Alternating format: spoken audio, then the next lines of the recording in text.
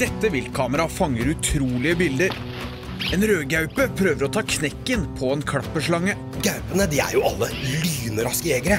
Og dere ser det at bobcaten bobcatten der den bruker først og fremst labbene sine.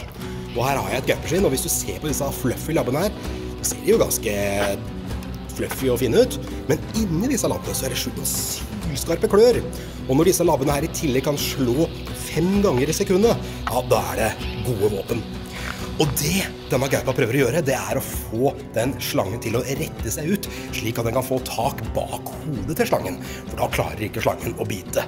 Og på samme måte kan altså våre huskatter jakte på hoggorm. Etter en vellykka slangefangst gjenstår det bare å feire, fråtse og falle til ro.